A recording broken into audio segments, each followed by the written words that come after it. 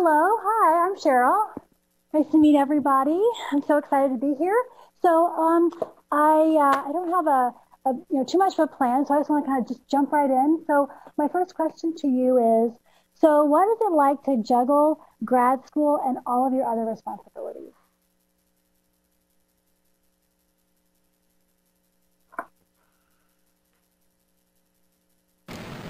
Mm, feels like a roller coaster.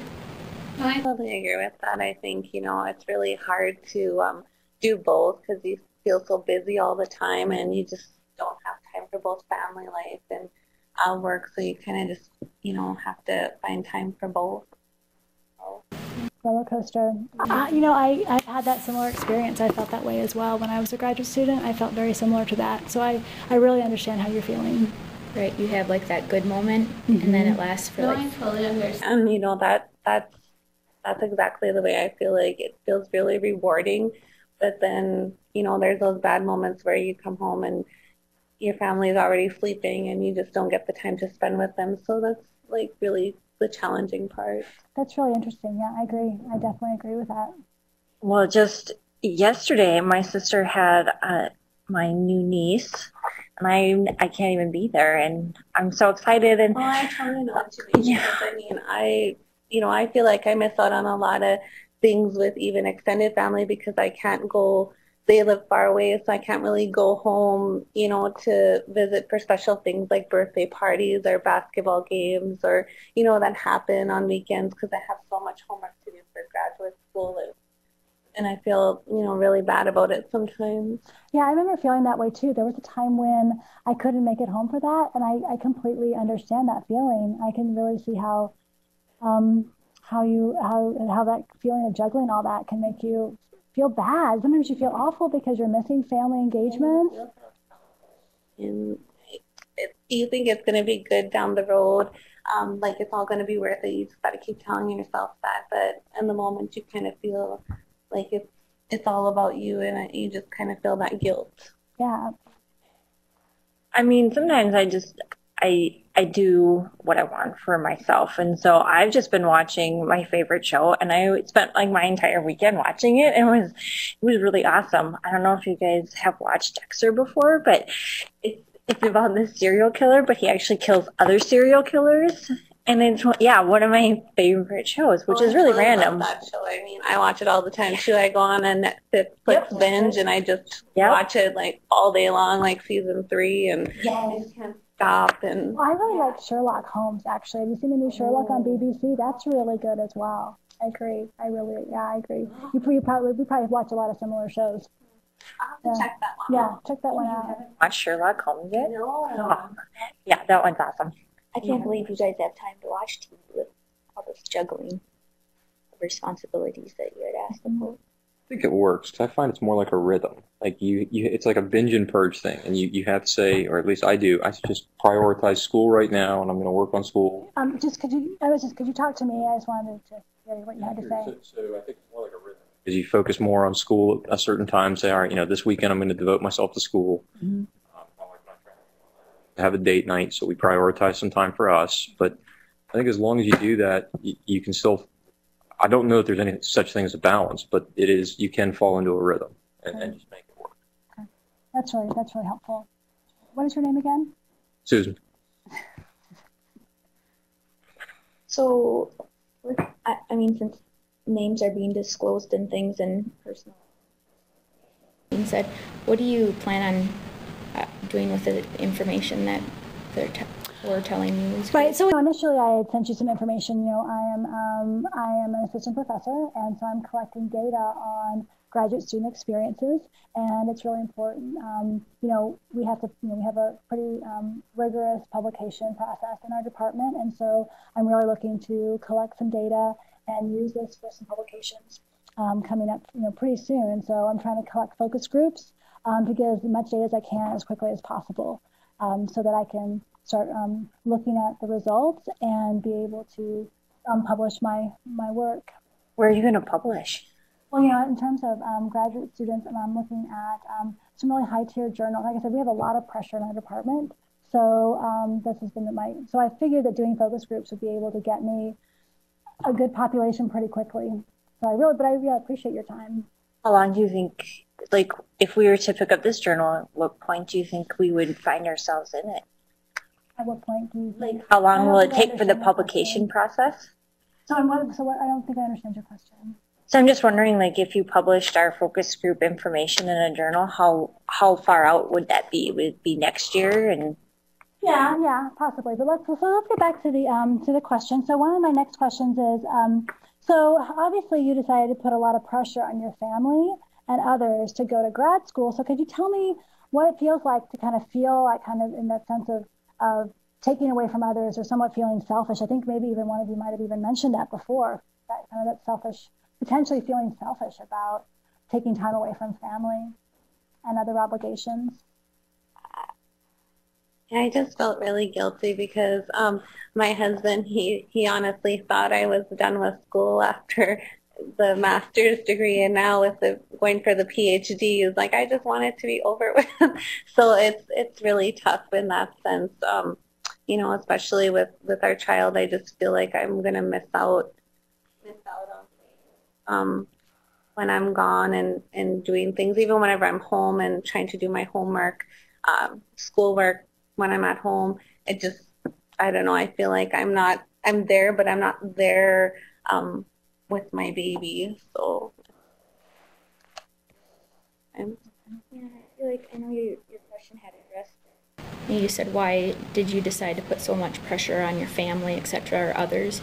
But I almost, I feel like I, I put more of the pressure on myself, um, personally, because I, you know, since we are juggling people who have families, whether they have children or just extended family, et cetera, um, I, I start to feel that guilt similar to what you were talking about and i think i put more pressure on myself versus my family if that like there there's outcomes of my family and others like sometimes you have to sacrifice certain things for yourself So all of you feel guilty? I kind of disagree with you because I feel like we have to, our families kind of suffer and have to take care of everything. They're kind of feeling the pressure of our decision to do. Well, what do you what do you think? I mean, could you guys? Is she saying something quite different. Do you? Could you guys come to some kind of consensus about about kind of answering that question? i mean i think i don't know are you really like on that side of the spectrum yeah. yeah You probably you probably could see her point of view. Well, like, yeah, the pressure. I mean, come to think of it, I don't think. I think more of the pressure is probably on my family and everybody else. I mean, because doing something for myself would be selfish, especially if it's burdening my family and friends and they're suffering from it. So I, I do agree Okay, so. I, what I was thinking of, um, we have a really um, interesting activity I'd like to do. Um, so I'd like to, it's pretty fun. It kind of gets us all talking and engaging. So what I'd like to do is have each of you um, take a uh, just a couple post-it notes. So if you want to pass those around, this is um, really fun. So if you've got, and I've got some really um, nice colors of markers here. So if you want to take a couple markers. So what I want you to do, um, on the yeah, so grab a couple markers. So Like a couple markers each, or just or just like, yeah, two markers each, yeah. Um, you take me very, very literally, don't you? Um, so what I want you to do is I want you to write down one or two things that you like least about grad school. So just, you know, choose, you know, um, write it on a separate sticky part though. So on a separate sticky note, write down one thing on each note that you really don't like about grad school. Okay? In the same color or different? I know it's a stupid question. She really takes me literally, doesn't she? In the same So- color or different color? So, so same color is fine. That's no problem. This is a nice activity to kind of, kind of get the conversation going. So go ahead and start. Write down just, or if you only know one, that's okay. But write down one or two things that you just don't like about graduate school. And then what I'm going to do is I've got this post, this, um, this um,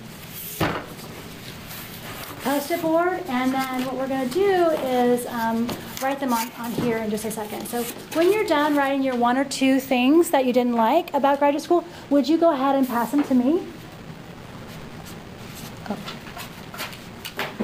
Oh, thank you. Thank you very much. Okay, so you're going to pass those to me. Okay. Yeah. Okay. Yeah, keep, yeah. Are you about finished? Yeah. Okay. Okay. Are you finished? Yep. Oh, it's okay, just, yeah, just kind of keep writing. Are you almost done? Okay, but that's enough, yeah, that's enough. Okay, all right. And you, oh, and you have three, okay? Well, I, No, no, no, that's that's okay, that's fine, just, I- just give me, give me what you have, it's fine.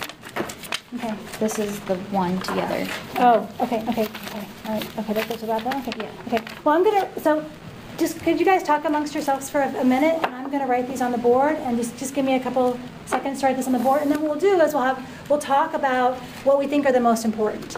So just give me, give me a second to write these on the board, okay? Are- Do you want us to discuss anything in specific yeah, or? Uh, no, just, just, you could just, just. What season you are? I've actually, this is my second time. I've watched them all.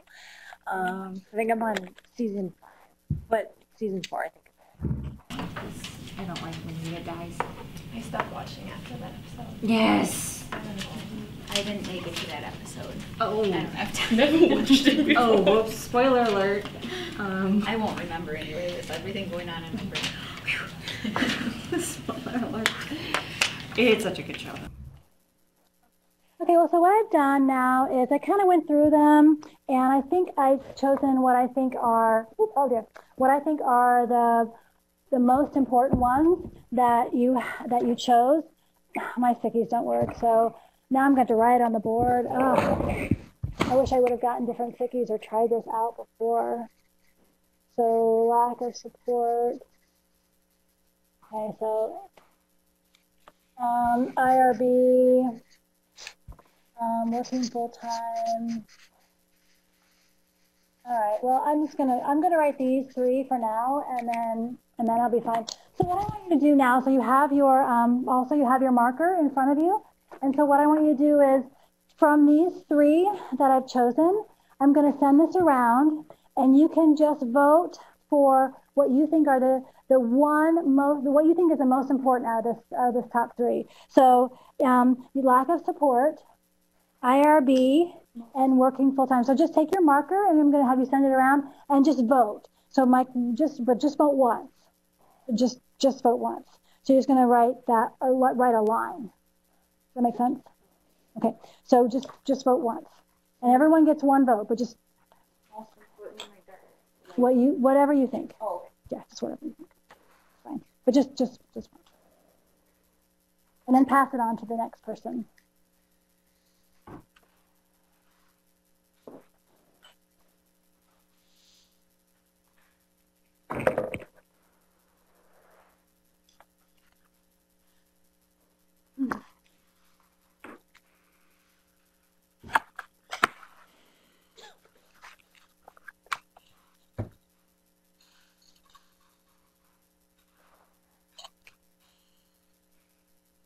Well, that's good. I mean, I think that that's really helpful for me to see that if we look at here, we can see that lack of support, IRB, um, doesn't seem to be um, as uh, as important to you as working full time. Um, and so I think that in some ways that helps me out a lot because I'm thinking about this idea of kind of that, the stressfulness, right? But also, especially kind of that notion of kind of your time and how you can probably feel somewhat selfish for being graduate students and taking time away from your family.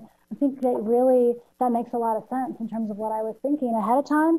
And you've really been able to give me a lot of insights into how much time it takes for working full time. So that's really, really helpful. You guys have given me just a tremendous amount of information today. Uh, I really want to say you know thank you so much, um, and uh, and I want to say give me a lot of a lot of things to think about, and I really appreciate it. So everyone have a great day. It was nice to meet you. Uh, and if you have any questions, my name is Cheryl, and I think you probably have my information in that email that I sent you. So have a great day, everyone. Thank you so much.